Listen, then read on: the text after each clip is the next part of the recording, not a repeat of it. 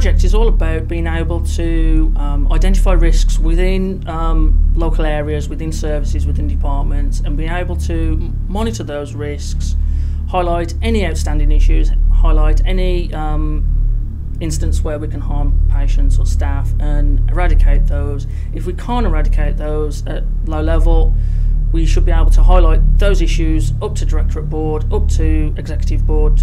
When we originally started collating all the information from risk assessments, obviously it, it took more than a year to collect the information. There's over 120 services, so it's a lot of risks.